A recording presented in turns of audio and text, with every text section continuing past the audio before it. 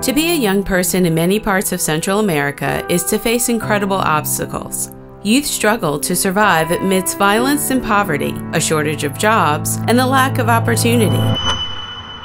And yet, every day, seeds of hope are planted. Throughout Central America, programs supported by Catholic Relief Services provide young people the chance to be catalysts of change in their lives and in their communities. Through mentoring and skill building, internships, and on the job training, youth can create a more stable future for themselves and their families.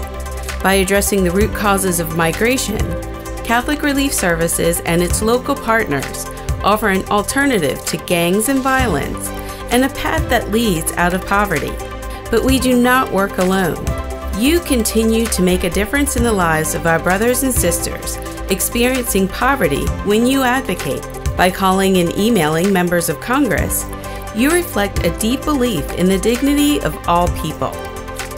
Together, our collective voices create opportunities for migrants around the world to thrive in their communities.